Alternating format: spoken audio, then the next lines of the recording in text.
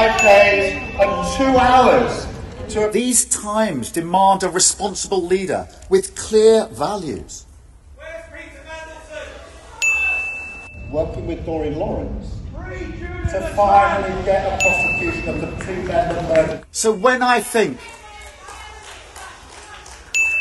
so when I think, First generation to have lower lifetime earnings than the one that went before. because they didn't believe that our promises were credible. To the voters, to the voters,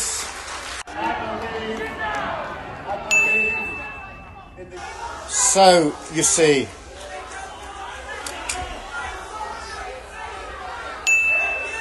shouting slogans